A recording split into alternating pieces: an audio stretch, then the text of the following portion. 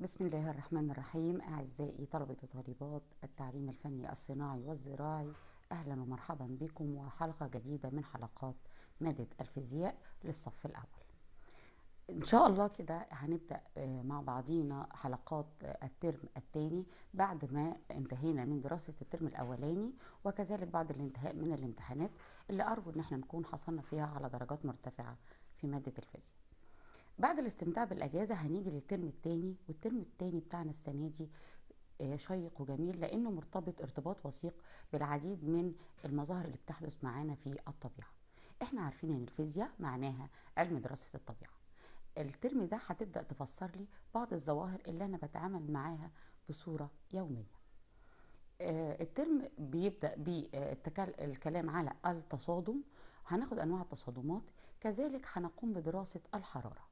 الحرارة بكل ما يتصل بيها. يعني إيه حرارة؟ إيه الأجهزة اللي أنا بقيس بيها درجات الحرارة؟ إيه هي وحدات قياس الحرارة؟ ليه لما بمسك الكوباية بعرف إذا كانت سخنة ولا لأ؟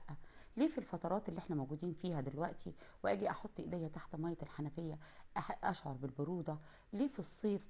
لم... نفس الحنفية لو حطيت إيدي تحتها هحس إنها المية بتاعتها سخنة أو دافية؟ آه، حاجات كتيرة جدا من اللي بتحصل في يومنا مرتبطة بمادة الفيزياء. كذلك هذا الترم يحتوي على العديد من القوانين الرياضية وطالما قلت قانون رياضي يعني عندي مسائل فيزيقية. حضرتك هتلاقي في الترم دوت الأمر بالنسبة لك بقى سهل. مش بس لأنك أنت اتعودت على المسائل الرياضية ومهارة حل المسائل الرياضية والقوانين الرياضية ومش بس لأن بعض الرموز اللي درستها في الترم الأول هنرجع نستعملها في الترم الثاني زي السرعة زي الكتلة زي القوة لكن كمان وعشان أنت شاطر طبعا ده أكيد لكن كمان قوانين الترم الثاني قوانين تم يعني فيها سهولة أكتر كمان من الترم الأولاني.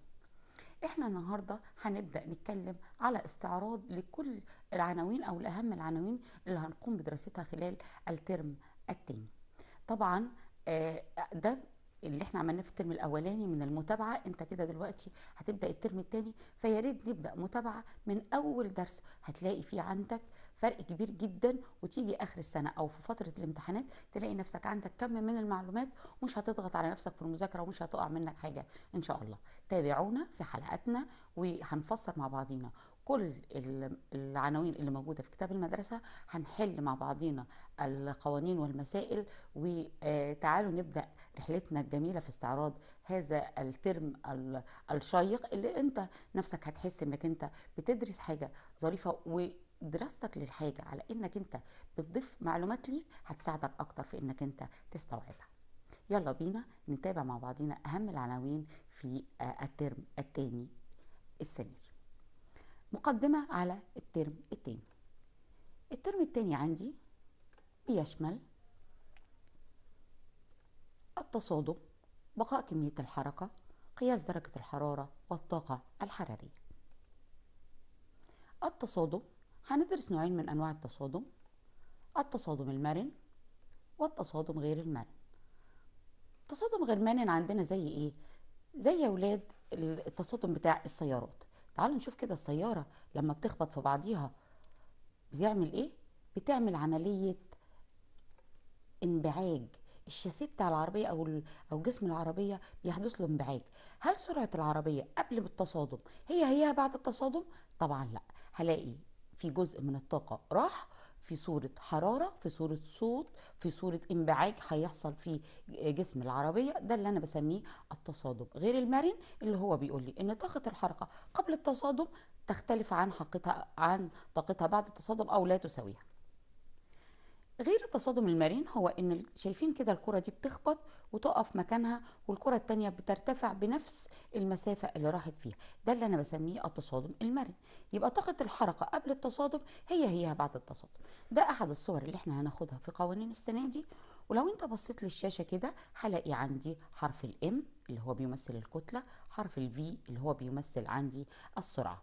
كذلك أنا عندي M واحد و M اتنين خلاص إحنا واخدين المهارة دي وعارفين إن M واحد و M اتنين ان هم جسمين واحد كتلته M واحد والتاني كتلته الكتلة بتاعته اللي هي M اتنين اللي هي الكتلة التانية V واحد دي السرعة بتاعه الجسم الأولاني V اتنين بتاع سرعة الجسم التاني.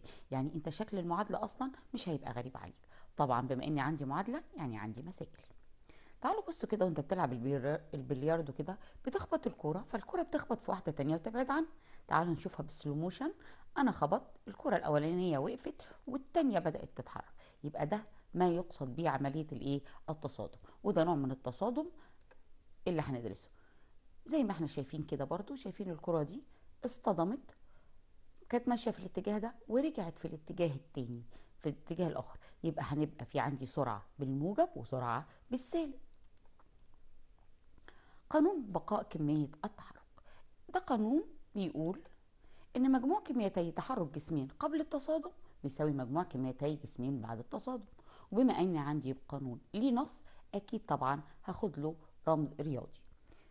ادي الكورتين ده معناها ان ادي جسمين وبيتحركوا في اتجاه بعض هيحدث تصادم كل واحد هيرجع في الاتجاه المخالف وبالتالي إشارة السرعة هتختلف ويبقى في عندي حاجة اسمها في اللي هي سرعة الجسم.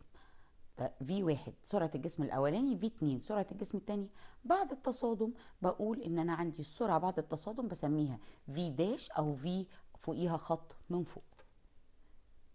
وطبعا عندي قانون رياضي على الجسمين لما يتحركوا مع بعض زي ما هنشوف دلوقتي والقانون الرياضي معناها إن أنا عندي مسائل هنسيبها طبعا لحينها. بصوا يا ولاد لو أنا الكورتين لازقين في بعض كده بصوا كده الجسمين بيتحركوا بيتحركا معا. فهمنا كلمة بيتحركا معا يعني إيه؟ يعني الجسمين زي زي كما لو كانوا ملتصقين ببعض. هندرس حاجة اسمها الدفع والدفع ده ليه قانون بيقول لي دلتا T في F الدفع هو عبارة عن ال F في دلتا T طبعا إحنا عارفين إن ال F يعني قوة والدلتا الصغيرة دي أو المثلث الصغير ده معناها تغير وال T يعني الزمن. كل المعلومات دي عندنا من الترم الأول. يعني إيه دفع؟ لو في في كورة كده بتتحرك وفي آه مضرب ضربها بصوا كده هي اصطدمت ونتيجة اصطدامها بترتد في الاتجاه الآخر. يبقى ده اللي أنا بسميه الإيه؟ بسميه الدفع. تعالوا نبص كده أدي المضرب مثلا. الكرة بتتحرك في الاتجاه ده قبل التصادم. سرعتها هتبقى في اللي هي قبل التصادم. بتخبط في المضرب بقوة فبترتد في الاتجاه الآخر. في الاتجاه الآخر دي بسميها في داش يعني في بعد التصادم أو في بشرطه كمان السنة دي في خلال الترم الثاني هنتعامل مع الصاروخ متعدد المراحل. هنقوم بدراسة الصاروخ وإزاي بينطلق من الأرض وإزاي طاقة وضعه لازم تكون طاقة حركته تكون بتساوي طاقة وضعه أو أزيد. هنعرف إن في عندي حاجة اسمها كمية التحرك وبقدر الغازات اللي بتندفع إلى أسفل بيبدأ الصاروخ ده يطلع إلى الفضاء.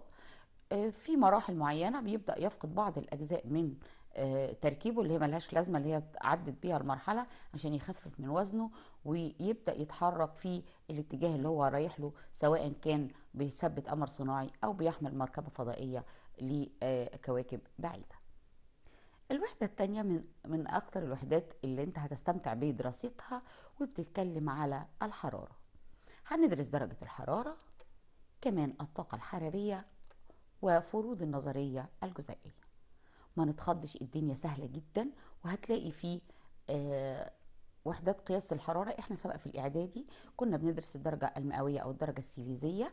إحنا السنة دي بما إنك أنت بقيت في الثانوي فاقدر أقول لك إن في عندي وحده تانية غير الدرجة السيليزية زي السيليزيوس اللي إحنا خدناه في الإعدادي. وهنتعامل معاه بحرف ال C اللي هو السيليزيوس كمان في عندي حاجة اسمها الكلفن وهنعرف هو بيساوي قد إيه من السيليزيوس. وكمان هندرس نوع من التدريج اسمه الفهرنهايت وهنرمز له بالرمز F. التداريج دي ليها أو إيه علاقتها بالسيليزيوس أو ممكن نحول أحد التداريج إلى الأخرى في السيليزيوس درجة غليان الماء عند 100 درجة سيليزيوس بينما درجة تجمده عند صفر درجة سيليزيوس.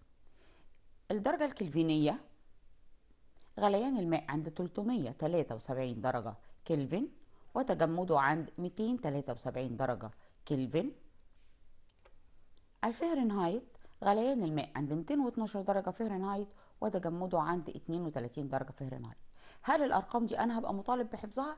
أيوه دي اسمها درجة التجمد ودرجة الغليان وكل آه، يعني تدريج فيهم لدرجة الغليان ودرجة التجمد الخاصة بيه. طيب يبقى أنا كده دلوقتي تعالوا نفهم الكلام ده إيه؟ درجة الحرارة 30 فهرنهايت. هنقول إيه؟ يا 30 فهرنهايت إزاي يعني؟ 30 فهرنهايت بتقول الدنيا برد؟ آه لما تعرف إن 30 فهرنهايت دي بتعادل بالسيليزيوس واحد درجة مئوية يبقى فعلا الدنيا هتكون برد. يبقى اذا كل واحد فيهم ليه تدريج خاص بيه هنتعرف عليه السنة دي. طب لو أنا قلت مثلا أنا حرارتي 40 درجة سليزيوس أهي 40 بس بالسليزيوس 40 درجة سليزيوس معناها إن أنا إيه؟ إن أنا مريض طبعا. بعض الدول العربية بترتفع فيها درجة الحرارة آه، إلى درجات عالية في الصيف زي آه، 60 درجة سليزيوس ده معناها طبعا إن أنا ممكن أقلي بيض على الأسفلت. درجة حرارة عالية جدا. يبقى كوني بستخدم السليزيوس أو الفهرنهايت أو الكلفن كل واحد ليه حاجة خاصة بيه. التحويلات. أنا عايزة أحول بقى من الكلفن للسليزيوس أو من السليزيوس للفهرنهايت هنشوف القوانين بتاعتي اللي أنا بشتغل عليها.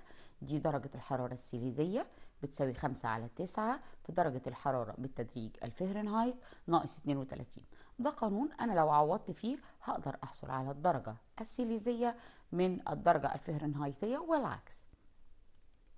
بالنسبة للدرجة الكلفينية هي بتساوي درجة الحرارة السيليزية زائد 273 طب لو أنا عايزة أعرف درجة الحرارة بالسيليزيوس هودي ال 273 اللي بالموجب الناحية التانية بالسالب. تبقى درجة الحرارة السيليزية هي عبارة عن درجة الحرارة الكلفينية ناقص 273 ودي مسائل سهلة وبسيطة وهنتدرب عليها مع بعضينا خلال العام. لما أقول إن الشمس درجة حرارتها 40 درجة سيليزيوس شايفين؟ دي 40 النود الصغيرة دي معناها درجة وال C اللي موجودة جنب الرقم معناها إن أنا بتعامل مع تدريج سيليزيوس. لما تبقى درجة الحرارة 40 معناها طبعا إن درجة الحرارة مرتفعة. لو أنا قلت إن أنا درجة حرارتي 40 على الترمومتر اللي أنا بستخدمه اللي هو وحدة قياس الحرارة بالمناسبة وهندرس أنواع الترمومترات يبقى معناها ان أنا مريض. لما نبدأ نتكلم بقى على الحرارة معانا في منهجنا السنة دي حضرتك لو مسكت كوباية شاي بتقدر تحكم عليها وتقول إن هي سخنة. وممكن ماما كده تقول لك لا كوباية الشاي دي بردت اعمل لي واحدة تانية. معناها إيه ماما حكمت على كوباية الشاي إن هي إيه إن هي بردت مجرد ملامستها. أو حضرتك لو دخلت أي محل تجيب حاجة ساقعة وقبل ما الراجل يقول لك إذا كان عنده ساقع ولا لأ لو حضرتك مديت إيديك جوه التلاجة اللي عنده ولمستها بإيدك هتقدر تحدد إذا كانت الحاجة دي ساقعه ولا لأ. إذا إيدينا قدرت تحكم إيدينا هتقول إن ده ساقع أو سخن لكن إيدينا مش هتعرف تقول لي درجة حرارته كام. إيديا ما فيهاش أي معيار يقيس أو تدريج يقيس لي درجة الحرارة. أنا بس ممكن أقول إن ده ساقع وده سخن.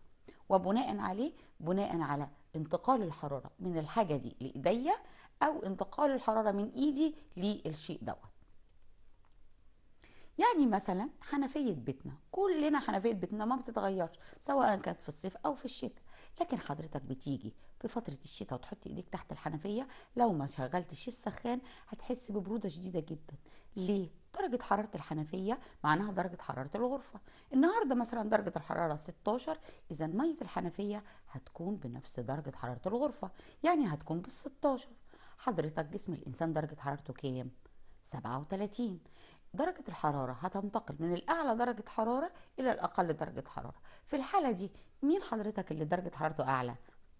الإنسان درجة حرارته أعلى من المية. إذا المية هتسحب الحرارة من جسم الإنسان فيبدأ يشعر بالبرودة. ليه؟ عشان الحرارة اتسحبت منه.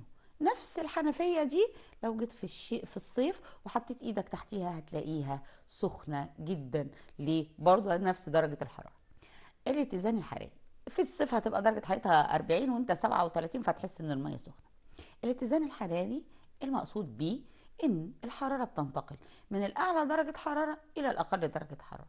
يعني لو سيادتك ماسك كوباية الشاي والحرارة نقلت من كوباية الشاي لإيدك يبقى في الحالة دي درجة حرارة الكوباية أعلى من إيديك. طب لو إحنا جبنا بقى في الحر كده كوباية عصير عاملين عصير فريش ونيجي نشربها أول حاجة الساقعة نيجي نشربها كده اللي هي المشروبات الغازية لو جبت إزازة سخنة مش هتعرف تشربها. أنت بتعمل إيه؟ ببساطة شديدة جدا. يعني بدون ما تفكر هنجيب مثلا مكعبات تلج وأحطها. طب ليه أنا بعمل كده؟ آه التلج هنا درجة حرارته قليلة والعصير اللي عندك أو المياه الغازية اللي عندك درجة حرارتها أعلى. هتنتقل البرودة من مكعبات التلج إلى العصير أو إلى المياه الغازية. وبالتالي حضرتك هتحصل على كوب ساقع أو بارد. ليه؟ لأن درجة حرارة العصير آه، فقدت أو اتنقلت إلى اتنقلت لها البرودة أو سحبت السخونيه منها قطع الثلج وقامت بإيه؟ باذابتها يبقى الحرارة بتاعه كوباية العصير فقدت. فتبدأ حرارتها في الإيه؟ في الانخفاض. لغاية ما مكعبات التلج إيه؟ تنتهي أو تسيح للآخر. نفس الفكرة لو مسكت كوباية نسكافيه كده بص بتمسك إيديك. أول حاجة هتحسها الأول إن الكوباية سخنة. بعد فترة هتبدأ تحس إن الكوباية مش سخنة.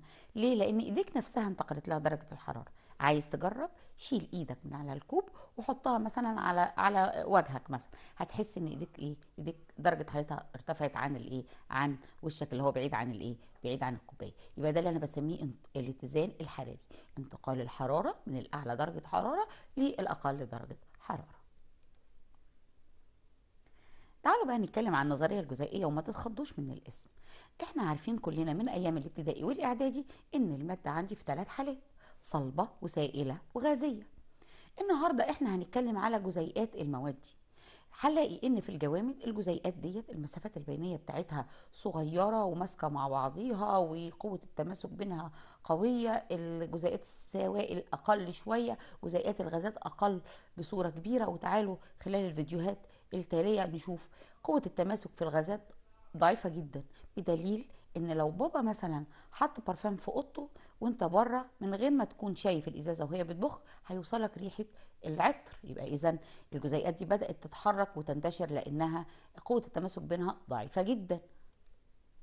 بينما في السوائل بتكون قوة التماسك متوسطة بدليل إن أنا ممكن لو أنا عندي دورة أو عندي إزازة مية أو أي سائل ممكن أقدر بسهولة أقسمه أو أصبه في كوب ماء مثلا. بالنسبة بقى للجوامد صعب جدا وقوة التجاذب بينهم قوية جدا بدليل لو أنت قمت كده مسكت الكرسي وحاولت تكسره. هل هيكسر معاك؟ لو مسكت القلم وحاولت تكسره هتلاقي صعوبة في الكسر. ليه؟ لأن الجزيئات بتاعته في بينهم قوة تجاذب عالية أو قوة تماسك عالية. قوة التماسك دي اللي هي قوة التجاذب اللي بين الجزيئات. تعالوا نشوف كده أدي الثلاث حالات بتاعتي. كمان غير إن في منهم قوة تماسك في كمان حركة. في المواد الصلبة بتتحرك؟ أيوه بتتحرك. في المواد الغازية الحركة زي ما إحنا شايفين حركة عشوائية منتشرة المسافات البينية بينهم بعيدة. جزيئات الجوامد بيكون في عندي برضو حركة اهتزازية. هذه الحركة آه، حول موضعها الأصلي. جزيئات المادة السائلة بتبقى وسط بين الاثنين لا هي بعيدة قوي ولا هي متماسكة زي الحالة الصلبة. شايفين كده الجزيئات؟ ده نموذج بس كده بيوضح لي الجزيئات. شايفين الأجزاء البيضاء دي اللي بنسميها المسافة البينية اللي بين الجزيئات. الجزيئات في حالة حركة. شايفين في السوائل. أنا ممكن أفصل مية في دورة في كوباية. فلاقي إن الحركة في السوائل آه، أسرع وده بيوضح لي كمان اندفاع أو الأمواج والبحر. آه إزاي ممكن الجزيئات بيكون فيها حركة أسرع شوية من جزيئات الجوامد؟ طبعا بالنسبة لجزيئات الغازات هي سريعة جدا المسافات البينية بينها بعيدة قوة التماسك بينها قليلة جدا جدا جدا. شايفين كده جزيئات المادة الصلبة دي كده سوري الغازية شايفين كده المسافات البينية والسرعة بتاعتها. طيب تعالوا كده نشوف ادي الثلاث حالات بتاعتي حديد كمثال للمادة الصلبة ماء كمثال للمادة السائلة وأكسجين موجود في دورة كمثال للمادة الغازية. لو إحنا بصينا لجزيئات المادة الصلبة اللي هي الحديد هلاقي إن الجزيئات في حالة حركة ولكن في موضعها في مكانها شايفين الاهتزاز بتاعها ولكن بينهم قوة تماسك رغم إن هي بتتحرك لأن أي جسم بيحتوي على طاقة وضع وطاقة حركة. طاقة الوضع اللي جواها اللي مختزنة في الجسم وكمان بتتحرك حول موضع اتزانها. يعني المادة اللي قدام منك دي عبارة عن مجموعة من الجزيئات المرتبطة مع بعض. في بين كل جزيء والتاني مسافة بسميها المسافة البينية زي ما هيظهر قدام مننا دلوقتي. دي المسافة اللي موجودة وتعريفها هي الفراغات الموجودة بين أو المسافات الموجودة بين آه، الجزيئات. في عندي كمان قوة تماسك بين الجزيئات اللي أنا بسميها قوة تجاذب بتربط الجزيئات الموجودة في نفس الجزيء. تعالوا نشوف الحالة التانية اللي هي حالة الإيه؟ حالة المادة السائلة. بصوا يا ولاد الجزيئات شايفين الحركة؟ أسرع شوية من الحالة الصلبة المسافات البينية أبعد شوية من الحالة آه، الصلبة كذلك وده بيفسر لي سهولة إن أنا أقدر أقسم جزء من السائل بسهولة ويسر عن إن أنا أقدر أفصل آه، مادة صلبة عن بعضها بالنسبة بقى للحالة الغازية طبعا أكيد حضرتك هتتوقع إن السرعة أكتر من الصلبة والسائلة حركتها والمسافات البينية بينهم. يبقى إحنا عرفنا كده دلوقتي الفروض النظرية الجزيئية بتاعتي إن المادة تتركب من جزيئات والجزيء دوت اللي هو أصغر وحدة بنائية للمادة. جزيئات المادة في حالة حركة مستمرة دي أحد فروض النظرية الجزيئية وكذلك آه، الحركة ديت موجودة كمان في مسافة بينية بين الجزيئات اللي قلنا إن هي صغيرة في المواد الصلبة في قوة تماسك بين جزيئات المادة عالية جدا في المادة الصلبة متوسطة في السوائل وضعيفة جدا في الغازات. آدي فروض النظرية الجزيئية الدنيا سهلة ومش صعبة معانا ابدا. طرق انتقال الحرارة. الحرارة بتتنقل إزاي؟ عندي عدة طرق لانتقال الحرارة. في المواد الصلبة بالتوصيل. يعني إيه بالتوصيل؟ حضرتك لو حاطط إناء على النار هذا الإناء المقبض بتاعه من المعدن وجيت تمسكه وهو على النار هتحس على طول بالسخونية بتاعته. يبقى اذا الحرارة هنا اتنقلت لإيدك من الإناء. يبقى دي بالتوصيل. حصل عملية توصيل أو حصل عملية إنك أنت لمست هذا الجسم ف انتقلت الحرارة من الجسم ليك وده بيفسر لما بنكون حاطين معلقة أو كبشة في قلب حلة وسايبينها على الموقد وتيجي تمسكها تلاقي المعلقة إيه؟ تلاقي المعلقة سخنة وممكن قوي تلسعك ما تقدرش إن أنت تمسكها نتيجة انتقال الحرارة عن طريق التوصيل. طب بالنسبة للسوائل في طريقة اسمها الحمل. لو أنت حاطط براد مية على النار هتلاقي فيه بعض الفقاقيع اللي بتطلع دي طريقة الحمل إزاي؟ أنا عندي الجزء الملاصق للمادة للحرارة بتاعتي اللي هو موجود في أسفل الإناء. ده اللي متعرض لدرجة حرارة أعلى. وبالتالي المية هنا أو السائل هنا بياخد بيحصل على درجة حرارة أعلى من الموجود على سطح السائل. لما يكتسب درجة حرارة عالية بيكتسب طاقة. تبدأ الجزيئات تتباعد عن بعضها فكثافتها تقل. ولما كثافتها تقل إيه اللي هيحصل؟ هتبدأ ترتفع إلى أعلى فين؟ عند الإناء من فوق هنا. ويحل محلها طبقة أبرد اللي موجودة على سطح الإناء. وده بيفسر لك وجود الفقاقيع اللي أنت بتشوفها لأن في سائل طالع إلى أعلى بينما هناك من يحل محله إلى أسفل. نفس الفكرة دي كمان يا ولاد في الغازات. آه وبالتالي أنا بحط الدفاية فين؟ في الأرض. طيب كمان لو انت حاطط كده مولع النار مثلا بتاع البوتاجاز وحطيت إيدك اعلى الموقد بدون ما تلمسها إيه اللي بيحصل؟ بتحس بالحرارة اللي خارجة منين؟ اللي خارجة من الموقد بدون ما يكون انت لمسه. ليه؟ هنا بقى انتقال الحرارة بالإشعاع. الطاقة الشمسية يا حرارة الشمس بتوصل لنا إزاي؟ بالإشعاع. يبقى أنا عندي ثلاث طرق للتوصيل التوصيل بالنسبة للمواد الصلبة الحمل بالنسبة للغازات والسوائل والإشعاع بالنسبة للغازات. يبقى كده تعالوا نعيد مع بعضينا طرق انتقال الطاقة الحرارية بالتوصيل في المواد الصلبة بالإشعاع في الفراغ وبالحمل في السوائل والغازات. ده صورة بتوضح لي إزاي تيارات الحمل اللي انت بتشوفها اللي هي صورة الفقاقيع ديت بعد كده لما تحط مية على النار وتشوفها بتطلع فقاقيع تعرف إن هنا في حرارة سخنت الطبقات السفلى قلت كثافتها طلعت لفوق حل محلها إيه؟ حل محلها الطبقة العليا. يبقى هنا الطبقة السفلية اللي سخنت طلعت لفوق ونزلت مكانها الطبقة آه، الأكثر برودة وبالتالي دي اللي أنا بسميها إيه؟ بالحمل بتحمل الطبقات الساخنة إلى أعلى والطبقات الباردة تنزل إلى قاعدة الإناء. باقي بقى عندنا زي ما قلنا أنا ما أقدرش أحكم بإيدي على الحاجة ديت درجة حرارتها قد إيه. أنا ممكن أقول إنها سخنة أو ممكن أقول إن هي باردة.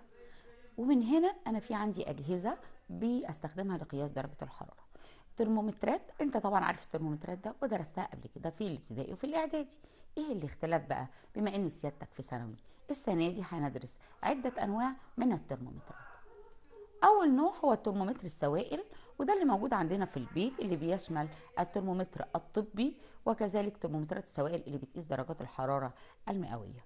والترمومتر السوائل مش معنى إن الترمومتر هو اللي سائل معنى إن المادة الترمومترية اللي بتقيس لي درجة الحرارة داخل هذا الترمومتر هي سائل. وعندي هنا ترمومتر الكحول وترمومتر آه الزئبق. نوع تاني من الترمومترات الترمومتر الغازي برضو مش معناها إن الترمومتر نفسه غاز لكن المادة الترمومترية اللي بتقيس لي درجة الحرارة هي غاز تحت ضغط ثابت. النوع الثالث من الترمومترات هو الترمومتر البلاتيني وطبعا من اسمه كده المادة اللي بتحكم لي على درجة الحرارة هو ملف من مصنوع من البلاتين. طيب السوائل والغازات والبلاتيني كل واحد فيهم ليه خاصية فيزيقية بيعمل بيها. يعني إيه؟ يعني إيه خاصية فيزيقية؟ الخاصية الفيزيقية للترمومترات. تعالوا دلوقتي نشوف الفيديو ده هيوضح لي بس كده آه نبذة إزاي الترمومتر بيشتغل. أنا عندي كده ترمومتر مثلا زي الترمومتر الزئبقي.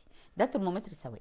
بيكون في عندي سائل لما الحرارة بترتفع هذا الترمومتر بيتمدد وأنا بقرأ التدريج اللي قدام منه. لما درجة الحرارة بتقل هذا الترم... هذه المادة السائلة اللي هي الزئبق أو الكحول بتنكمش وبالتالي أقدر أقرأ التدريج. يبقى لما بشوف السائل بتاعي واصل عند فين؟ في الأنبوبة بتاعته هقدر أحدد درجة الحرارة منخفضة أو لأ. ده كمان بسبب التدريج اللي موجود أقدر أحدد درجة الحرارة درجتها كام بالظبط. دي فكرة عمل الترمومترات. يبقى مثلا أقول ترمومترات السوائل بتعتمد على إيه؟ على الطول. طب الطول ده رمزه إيه؟ رمزه ال وبالتالي لما أجي أحل مسائل على آه ترمومترات السوائل هستخدم ال كنوع من أنواع الإيه؟ الإشارة إلى طول السائل الموجود. أنا عندي هيبقى عندي مثلا ال 100 ده معناها طول الزئبق عند درجة 100 اللي ديت اللي هي بتمثل لي الطول و100 دي اللي هي درجة 100 اللي هي درجة الغليان. طيب لو أنا قلت L وجنبيها zero يبقى معنى كده إيه؟ الطول عند درجة مين؟ عند درجة zero اللي هو عند درجة عند درجة الصفر. يبقى طول هذا السائل أو طول هذا العمود عند درجة الصفر. طب لو أنا قلت L وحطيت جنبها T L T معناها؟ الطول بقى موجود فين؟ في درجة الحرارة دي. يبقى أنا عندي الترمومتر في درجة حرارة تجمد اللي هي مثلا الصفر درجة غليان اللي هي 100 ودرجة الحرارة اللي أنا قايساها قدام مني. يعني الترمومتر هنا أو السائل هنا وصل لغاية درجه طول كام؟ الطول اللي عنده ده هي دي درجة الحرارة بتاعتي. ده أنا بتكلم دلوقتي كمثال يا أولاد على ترمومتر الإيه؟ السوائل. نفس الكلام هندرسه بالتفصيل خلال المنهج بتاعنا على الترمومتر البلاتيني والترمومتر الغازي ولكن هناك بقى ما عنديش طول. عندي حاجات تانية زي ما هنشوفها في الرموز بتاعتي. يعني مثلا أنا لو عايزة أجيب درجة الحرارة ما ننخضش من شكل الايه من شكل القانون. القانون بيقول لي إن درجة الحرارة السيليزية بتساوي 100 100 دي موجودة ثابتة في القانون. في وعندي شرطة كسر وعندي أربع اللي موجودين اتنين فوق الكسر واتنين تحت الكسر. لو أنا بصيت عليهم ونفذت نفس الكلام أو طبقت نفس الكلام اللي أنا قلته دلوقتي L T هو هيقول لك طول عند درجة الحرارة. L zero الطول عند درجة صفر. L 100 اللي هو الطول عند درجة 100 ناقص L zero خدوا بالكم يا أولاد في المسائل الرياضية دي دي علامة سالب يبقى مش هينفع أعمل اختصارات.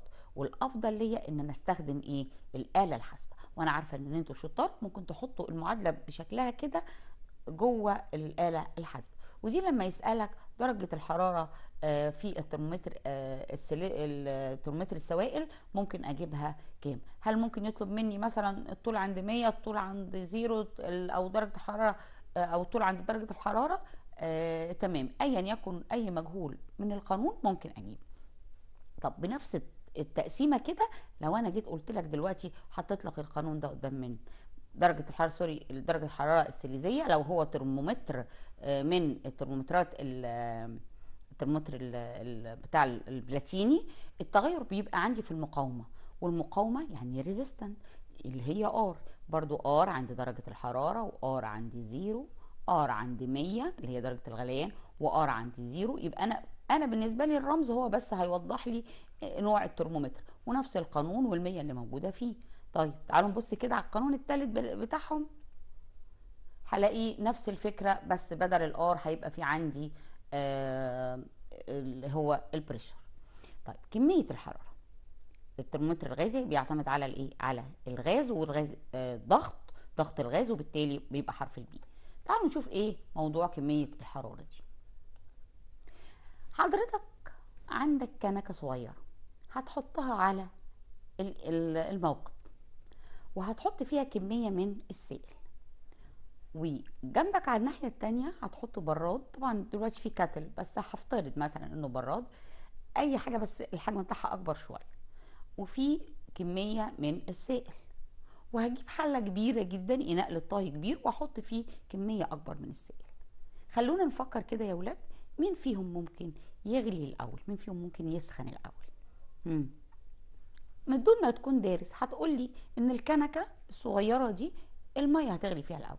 ليه هتغلي فيها الأول؟ طب ليه هي طب هي ولا البراد؟ لا هي. طب البراد ولا الإناء بتاع الطهي؟ لا البراد آه، ال- ال- الشاي هو اللي هيغلي قبل الإيه؟ قبل الإناء. هنا بقى تحضر دي يا ولاد حاجة. ويمكن دي من الحاجات اللي إحنا لما بن- بنبقى عارفين المعلومة الفيزيقية بيساعدنا أكتر إن إحنا نفهم الأمور. آه، طبعا إحنا قلنا في الأول إن آه، دراسة علم الفيزياء بتساعدنا على فهم ما يدور حوالينا وما يظهر لنا في وسائل الإعلام. أحد ال- الشخصيات العامة كانت بتتكلم في التلفزيون وبتقول آه إنها حصل لها مشكلة إنها كانت دخلت ال- المطبخ وحطت آه إناء من الزيت وحطت إناء من ال- المية. هت- هتعمل هتح- هتحضر الطعام يعني. فهتبدا تحمر مثلا بانيه ولا حاجة وهتبدأ تسلق مكرونة. وفضلت واقفة قدام ال- الموقد ومستنية الاتنين يغلوا عشان تحط البانيه وتحط المكرونة. اللي حصل إن تصاعدت الأدخنة والجو إيه وال- والشفاط عمال بيسحب والدنيا إيه سخنت وهي مش لاقية الزيت بيعمل الفقاقيع أو بيبقلل زي المية. قالت أنا ما كنتش أعرف إن الزيت بيسخن أسرع من المية. اذا أنا في عندي نوع نوع المادة ممكن تتحكم لي أو تقول لي على كمية الحرارة. يعني زي ما أنا قلت هنا الكنكة عشان حجمها صغير أصغر من البراد الكتلة بتاعة الحاجة اللي أنا عايزة أسخنها كل ما كانت قليلة كل ما تحتاج كمية حرارة قليلة. كل ما ارتفعت الكتلة أو زادت الكتلة كل ما هحتاج كمية حرارة أكبر عشان تبدأ توصل لإيه؟ لترتفع درجة حرارة واحدة. يعني كل درجة حرارة من الكتلة محتاجة كمية حرارة معينة. يبقى الكنكة اللي فيها كتلة صغيرة جدا من السائل هترتفع درجة حرارتها لأن يا دوبك كمية حرارة هتروح رافعة كيلو جرام كيلو جرام هتلاقيها فترة بسيطة وتبدأ تسخن. بينما براد المية كان فيه كتلة أكبر وبالتالي يحتاج لكمية حرارة أكبر وبالتالي عايز يبقى فيه حرارة أكتر عشان يبدأ يرتفع درجة حرارته. وبالتالي اناء الطهي بتاعي أو الحلة اللي أنا حاطط فيها مية محتاجة أكتر. يبقى أول حاجة بتتحكم في كمية الحرارة اللي أنا محتاجاها هو كتلة هذا هذه المادة. تاني حاجة نوع المادة. نوع المادة. أنا دلوقتي لما سخنت الزيت كانت منتظرة إن درجة حرارة الزيت ترتفع في نفس الفترة اللي ترتفع فيها درجة حرارة المية لا الزيت من المواد أو نوعه بيحتاج لكمية حرارة أقل عشان يبدأ إيه؟ عشان يقدر يرتفع. واسأل ماما في المعلومة دي بما إنك أنت دلوقتي درستها في الفيزياء. إذا أنا دلوقتي لو محت... لو أنا هحط حاجة زي الزيت الزيت هيحتاج درجة حرارة أقل من اللي بتحتاجه نفس الكمية من المية يبقى لو الكتلة عندي اختلفت الصغيرة تسخن الأول. لو نوع المادة اختلفوا رغم إن الاتنين نفس الكتلة كل مادة ليها درجة حرارة خاصة بيها. درجة الحرارة دي إحنا بنسميها إيه؟ خاصة بالنوع ده. يبقى أنا بسميها درجة الحرارة النوعية. وكل جسم ليه درجة حرارة نوعية خاصة بيه. أعلى حاجة تحتاج لدرجة حرارة نوعية أو درجة حرارتها نوعية عالية جدا هي المية وده من فضل ربنا سبحانه وتعالى علينا ليه؟ لأن جسم الكائنات الحية بيحتوي على نسبة كبيرة جدا من الإيه؟ من السوائل. وده اللي بيعمل إيه؟ بيعمل عملية آه، آه، اتزان. أنا درجة حرارة جسمي ما بترتفعش قوي لما درجة الحرارة اللي بره لأن المية عايزة درجة حرارة كبيرة جدا عشان تبدأ ترتفع. يبقى أجسام الكائنات الحية هتبدأ هتفضل محافظة على إيه؟ على ال- الحالة بتاعتها لأنها محتاجة حرارة كبيرة جدا جدا عشان المية اللي داخلها ترتفع. كمان حاجة تانية يا ولاد يبقى أنا دلوقتي قلت الكتلة بتاعتي أنا هسخن حاجة قد إيه؟ النوع بتاعي تالت حاجة. تعالوا نشوف كده مع بعضينا وتشوف المشاهدة دي. أنت بتعملها في البيت ولا لأ؟ يلا بينا نكمل كده مع بعضينا ونرجع تاني. طيب أنا بقى عندي براد حطيت كمية مية. سائل إحنا قلنا طبعا السائل ده موجود إيه؟ درجة حرارة الغرفة اللي هي كام؟ مثلا وليكن 30 اذا المية اللي نازلة من الحنفية عندي 30 هاخد براد الشاي الأمور ده ونحطه فين؟ ونحطه عشان خاطر يغلي. درجة حرارته 30 عشان يصل لدرجة الغليان اللي هي 100 أنا محتاجه أرفع درجة حرارته 70 درجة مئوية علشان خاطر يبقى درجة حرارته 100 اللي هي درجة غليان المية. وهبدأ أعمل كوباية الشاي بتاعتي. طيب أنا سبت البراده على النار في كمية من المية وعملت كوباية الشاي بتاعتي وخارج كده سبتها شوية هتبدأ تفقد الحرارة إلى الجو تبعا للإيه؟ للاتزان الحراري لأن درجة حرارة الجو أبرد هتنتقل الحرارة من السائل اللي موجود جوه الإناء بتاعي دوت إلى الهواء الجوي. مثلا هنقول ان سبتها شوية فبدأت تبقى درجة حرارتها 80 درجة مئوية. أخوك بقى ولا أختك ولا ماما أنت عملت شاي لنفسك ما عملتليش معاك؟ فتقول لها ده في ميه في البراد برغم إن أنا يعني خلينا نعترض على إن ده مش صحي إن أنا أعيد تسخين الميه تاني لكن إيه اللي أنت بتعمله؟ هتقول ده في ميه في البراد لسه سخنة. هتروح تولع على البراد تاني. أنت دلوقتي السائل ده درجة حرارته كام؟ 80 عشان أوصله ل 100 أنا محتاج قد إيه؟ محتاج 20 بس. هل هحتاج لكمية حرارة تعادل السبعين؟ يعني لما أجي أرفعه من 30 ل 100 70 درجة مئوية. هاخد كمية حرارة قد لو رفعته من ال 80 لل 100 لا ده أنا مجرد ما أحط البراد يمكن ثواني معدودة وهلاقي المية رجعت تصل لدرجة الغليان تاني. إذا كمان كمية الحرارة بتعتمد على فرق درجات الحرارة. أنا هسخن من درجة حرارة كام وعايزة أوصل لدرجة حرارة كام؟ يبقى من ال 30 لل 100 دي 70 درجة. هحتاج كمية حرارة أكبر مما إني لو حولتها من ال 80 إلى ال 100 كمية الحرارة بتساوي اللي أنا هرمز لها برمز Q بتساوي كتلة الجسم. طبعا كلنا عارفين إن الكتلة كانت بال M. في الحرارة النوعية الخاصة بالمادة دي ودي عادة بتبقى ثابتة وبيديها لك في المسألة ارمز لها بالرمز C وكذلك فرق درجات الحرارة يعني هسخن من كام لكام؟ يعني مش هقول لا درجة الحرارة الأولانية ولا درجة الحرارة التانية. أنا هقول الفرق بينهم أنا عايزة أرفعهم قد إيه وطبعا طالما في فرق يبقى هلاقي دلتا الصغيرة بتاعتي معاها ال T. كل رمز من القانون ده ليه وحدة قياس. كمية الحرارة بقيسها بوحدة الجول أو حرف ال J جول الكتلة بالكيلو جرام طبعا كلنا عارفين الكلام دوت من الترم الأولاني أو من معلوماتنا العامة أكيد. الحرارة النوعية هي اللي جديدة علينا السنة دي. جول لكل كيلو جرام point كلفن ودرجة الحرارة بالدرجة الكلفينية إحنا لسه كنا بنقول إيه؟ بنقول الكلفن والسيليزيوس والفهرنهايت من الحاجات الجميلة اللي إحنا كنا بنتكلم عليها في الترم الأولاني إزاي أقدر أحفظ أو أسهل عليا الحفظ. وكنا بنقول ذاكر بذكاء. إزاي أذاكر بذكاء؟ قانون زي ده عشان أحفظه. أنا شايفاه طويل قوي. كمية حرارة وكتلة جسم والحرارة النوعية وفرق درجات الحرارة. لو أنا قلت كده بالراحة كتلة كاف حرارة نوعية مثلا نون. هرمز لها كده في دماغي عشان أحفظها. درجة حرارة دال.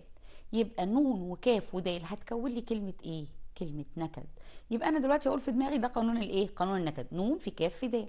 أو Q بتساوي C delta T كمان هنتكلم عن نوع تاني من الحرارة اسمها الحرارة الكامنة للانصهار والحرارة الكامنة للتصعيد.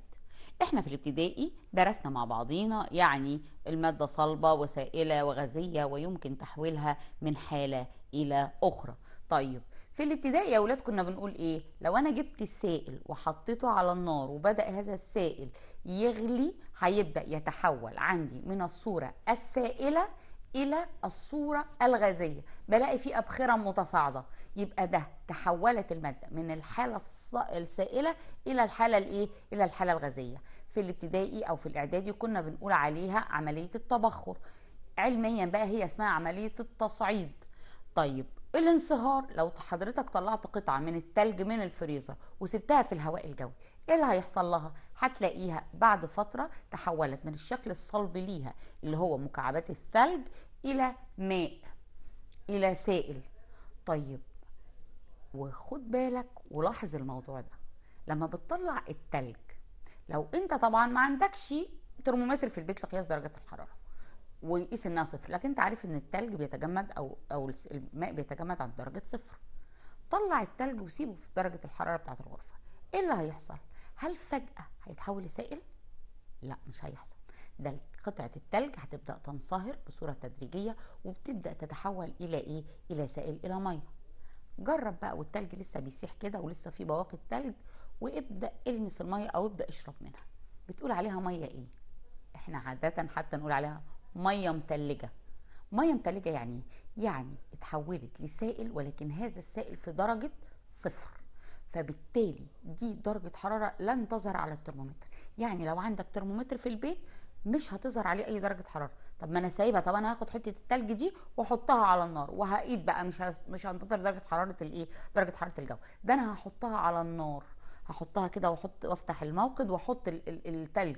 هيبدأ التلج ينصهر بصورة تدريجية ولو أنا حاطط ترمومتر جوه آه، هذا السائل هبص ألاقيه إن هو بيستهلك درجات حرارة وبستهلك حرارة ومع ذلك مفيش أي درجة حرارة ظهرت على الترمومتر. اذا الحرارة الكامنة هي درجة مش هتظهر على الترمومتر. طب الحرارة دي كلها راحت فين؟ ده أنا استهلكت غاز. أنا استهلكت حرارة. فين راحت؟ فين درجة الحرارة دي؟ آه درجة الحرارة دي عملت إيه؟ حولت المادة عندي من صفر في درجة. من تلج في درجة صفر درجة سيليزيوس إلى ماء في درجة صفر درجة سيليزيوس. يبقى عملت لي عملية تحويل للحالة اللي موجود عليها.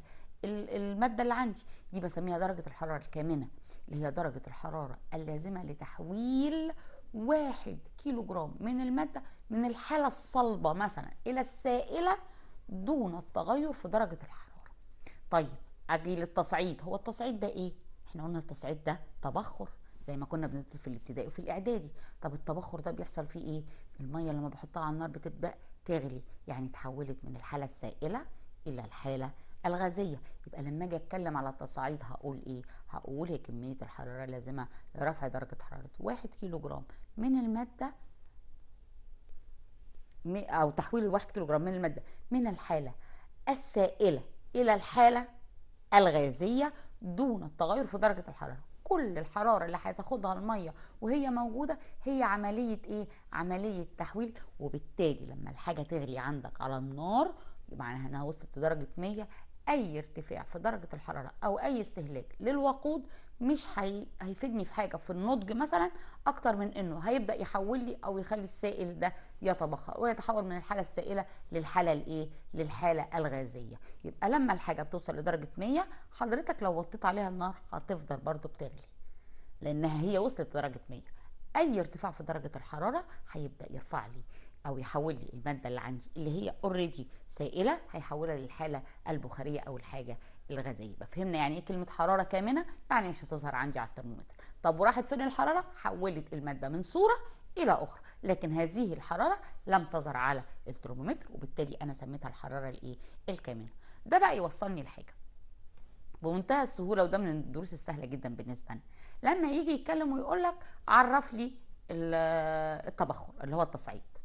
طب ما أنت عارف التصعيد ده تحولت المادة من الحالة إيه؟ من حالة كذا للحالة كذا. طالما ما قاليش الكامنه يبقى آه، التصعيد هو تحول المادة من الحالة السائلة إلى الحالة الغازية. بس كده. بس كده آه هيتحول بإيه؟ بالحرارة. انتهى الأمر. مش هقول بقى دون التغير في درجة الحرارة. الحرارة هتحوله لي.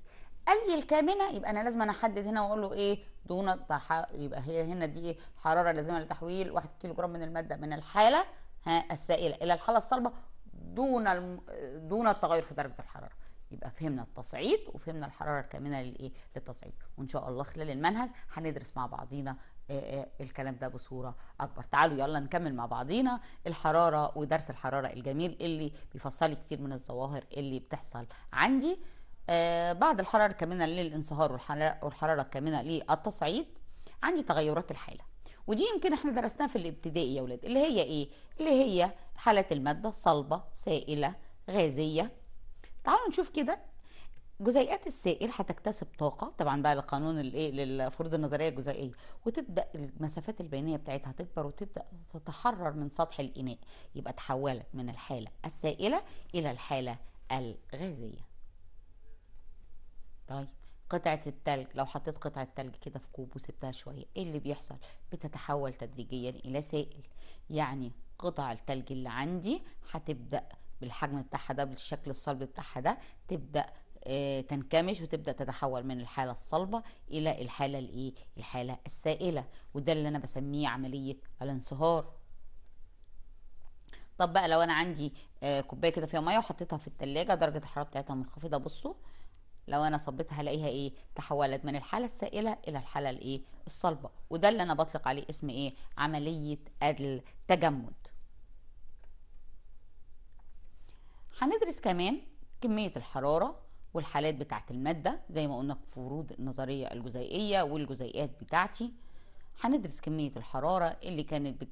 وهناخد فيها الحرارة النوعية زي ما قلنا هي الحرارة الخاصة بالنوع أو درجة الحراره اللازمه لرفع واحد كيلو جرام من المادة دي واحد درجة آه، مئوية يبقى دي الحرارة النوعية الخاصة بيه.